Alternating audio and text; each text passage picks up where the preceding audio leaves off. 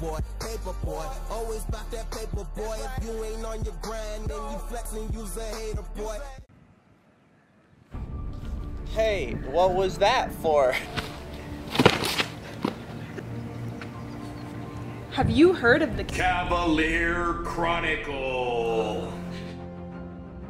What? You should read it. Okay. Seriously, take the time to visit lths.news and read the neatest and sweetest news about Lake Travis by and for your fellow peers.